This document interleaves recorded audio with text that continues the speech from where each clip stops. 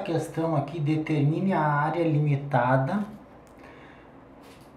pela, pelas curvas, né? y ao quadrado igual a 4x, y igual a x e y igual a 4, pertencente ao primeiro quadrante.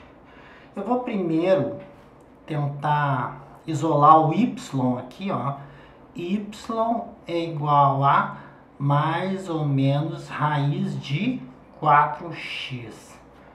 Prosseguindo, y é igual a mais ou menos raiz de 4, raiz de x.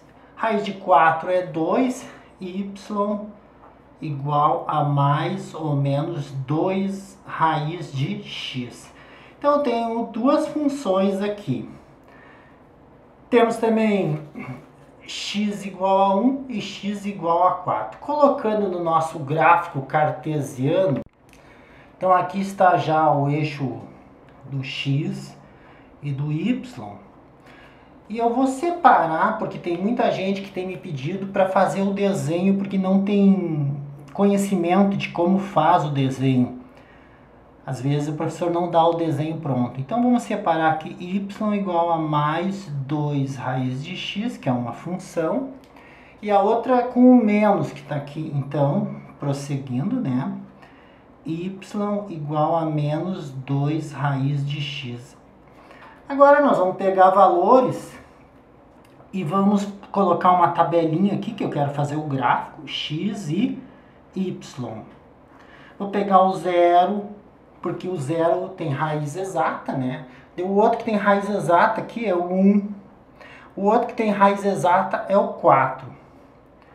Então, colocando esses valores aqui, eu vou ter, fazendo o cálculo, né?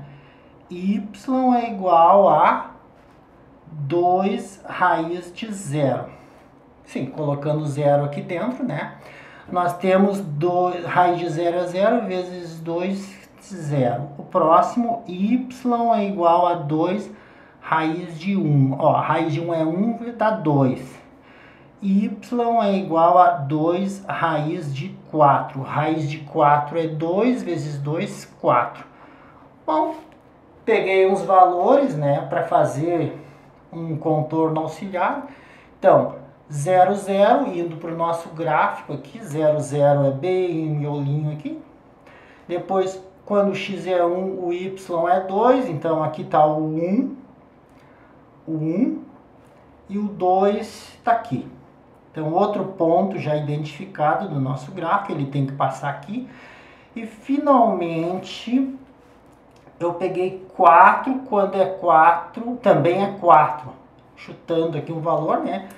Vejam que eu peguei valores uh, que tem raiz exata para facilitar meu cálculo. Daí eu não preciso usar calculadora. Então, quando x é 4, 1, 2, 3, 4, o y também será 4. Então, o outro valor que nós teremos que aqui.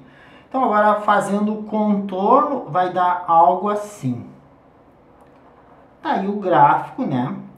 Agora tem também o gráfico menos 2 raiz de x Gráfico menos 2 raiz de x, se eu for fazer pelo mesmo sistema, que é a parte de baixo, lembro que gerou duas funções, vou pegar o 0, o 1 um e o 4 também, e nós vamos calcular aqui, ó, vai dar o mesmo valor, entretanto, em vez de positivo, vai ser negativo, porque tem um menos na frente. Então, é o mesmo cálculo.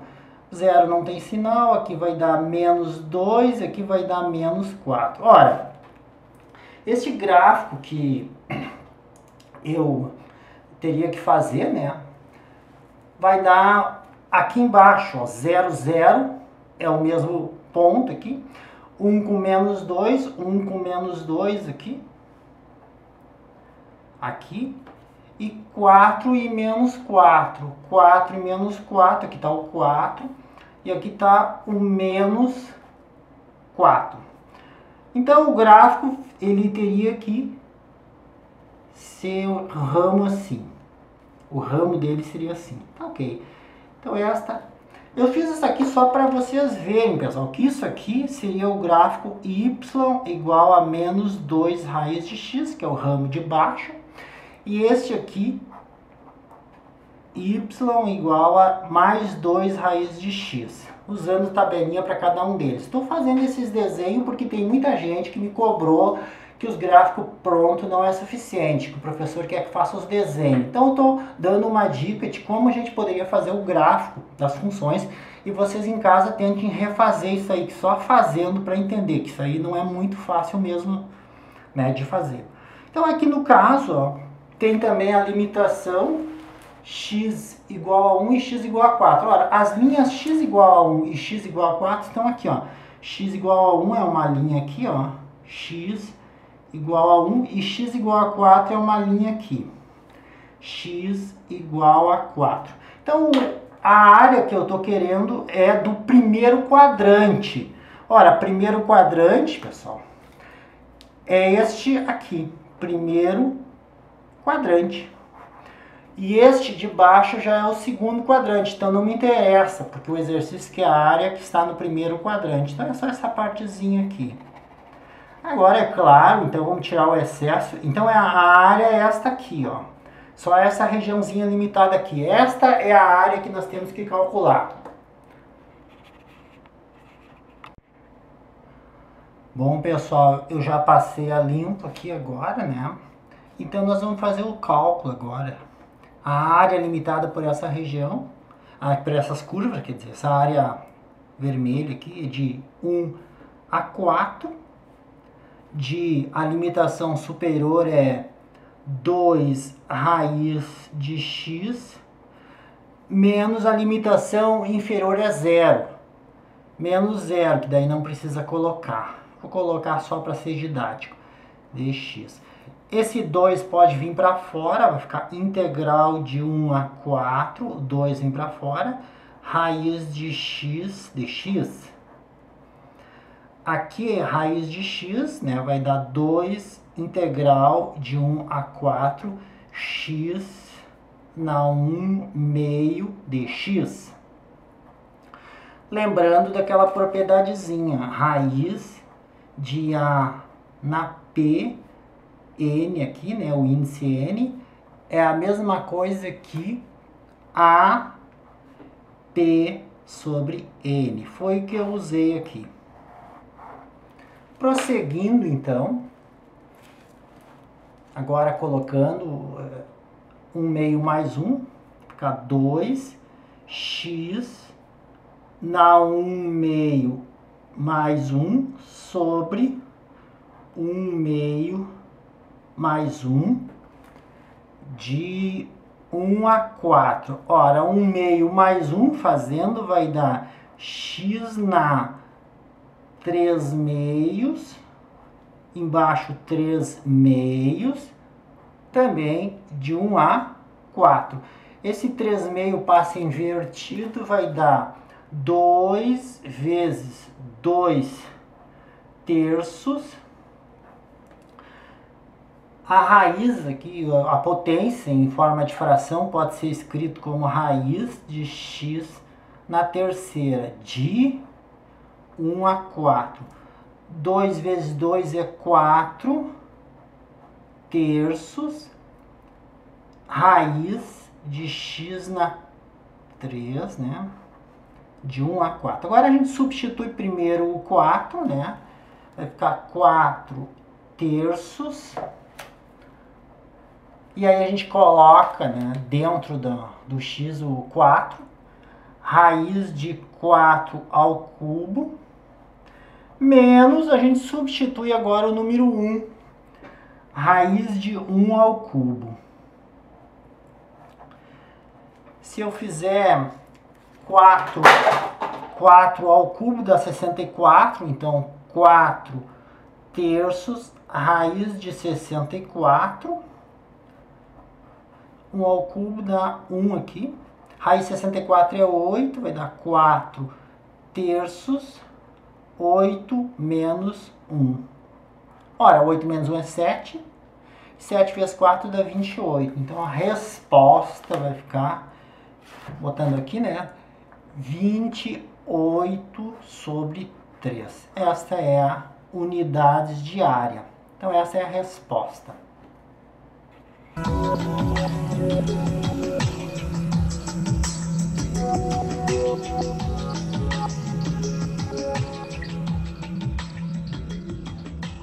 Bom, calcule a área limitada por a curva y igual a x ao quadrado e y igual a 2x mais 3. Então, eu quero saber qual a área limitada por essas duas curvas. Primeiro, é bom fazer um desenho para enxergar a área. Então, eu vou achar o ponto de intersecção das duas curvas. Isso aqui eu estou vendo que tal quadrado é uma parábola e isso aqui é uma reta. Fazendo, então, a intersecção eu tenho que igualar x ao quadrado, que é esse aqui, tem que ser igual a 2x mais 3. Passa o 2x para cá, vai dar x ao quadrado, menos 2 vezes x, menos 3 igual a zero. Olha, pessoal, isso aqui é uma equação de segundo grau. Parece que a gente tem que usar Bhaskara. Aqui na frente tem o número 1, então vamos colocar aqui. O A é 1, o B menos 2 e o C igual a menos 3. E a formulazinha de Bhaskara, lá da oitava série, a gente tem que saber, pessoal, é menos B mais ou menos raiz de B quadrado menos 4 vezes A vezes C. Ora, sobre 2A. Substituindo cada letrinha no seu lugar, o B aqui tem um menos na frente, preserva o menos, e o B é menos 2, então fica o menos 2. Este menos é o da fórmula e este é o do número. Mais ou menos raiz de menos 2 ao quadrado, menos o 4 vezes o A, vezes o menos 3. Tudo isso dividido por 2 vezes 1. Menos com menos dá mais 2, mais ou menos, raiz de 4. 4 vezes 1 é 4, vezes 3 é 12, menos com menos dá mais 12 sobre 2. 2 vezes 1 é 2.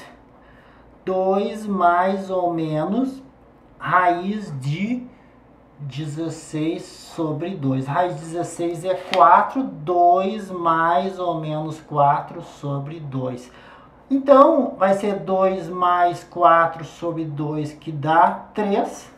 E o outro, 2 menos 4 sobre 2, que fazendo vai dar menos 1. Ok. Então, os dois pontos de intersecção né, é para x igual a menos 1 e x igual a 3. Então agora vamos fazer o gráfico, né, usando isso aqui como auxílio. Bom, pessoal, aqui está o gráfico cartesiano. E eu já coloquei aqui, ó, a reta, né, os valores que eu tinha achado, que é menos 1 e 3. Então, calculando aqui, y é igual a 2 vezes menos 1 mais 3. 2 vezes menos 1 dá menos 2, mais 3, a resposta é 1. Então aqui deu 1. Colocando agora dentro da equação o 3, né, no lugar do x, vai dar y igual a 2 vezes 3 mais 3. 2 vezes 3 é 6, mais 3, a resposta é 9. Então tá, menos 1 e 1, 3 e 9. Retornando então para o nosso gráfico, x é menos 1 com 1, está aqui, esse pontinho aqui. 3 com 9, olha, onde é que está o 9? 1, 2, 3, 4, 5, 6, 7, 8, 9. Então aqui, o outro pontinho. Bom, isso é uma reta, e para fazer gráfico de reta, a gente só tem que ter uma régua e riscar. Ok, dois pontos e uma régua, a gente faz o gráfico, tá feito. Agora, vamos fazer, né, o traçado da parábola. É uma parábola bem simples. Aqui está já o gráfico, vamos substituir. Aqui nós temos y igual a menos 1 ao quadrado, vai dar positivo 1. y igual a zero ao quadrado, vai dar zero. y igual a 1 ao quadrado, vai dar 1. y igual a 2 ao quadrado vai dar 4. E, finalmente, y igual a 3 ao quadrado vai dar 9. Agora, retornando para o nosso gráfico, nós temos que aqui é menos 1 e 1, é um ponto, é o ponto de intersecção. Depois 0 e 0, 1 e 1, 2 está ligado a 4, 1, 2, 3, 4 aqui, 2 e 4. Já está dando para ver o contorno. E 3 com, com 9.